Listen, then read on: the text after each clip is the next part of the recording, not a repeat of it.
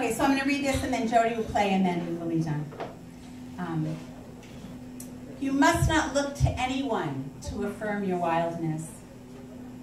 It is within you, given as your birthright. It would be like the hibiscus or dandelion asking if they were that flower. You can never negate the flower you are. Don't look for the untamed, the mysterious, the unfathomable only on the outside. The source is not at the volcano or waterfall. The expression, yes. The source is within you and hidden in all creation. The volcano and waterfall choose to be their nature. You must be yours. Even as you write, the wind grasps your notebook out of your hand and it flies onto the steps of the lanai. Nothing is certain, outcomes or possibilities. Staying true to your own nature is necessary.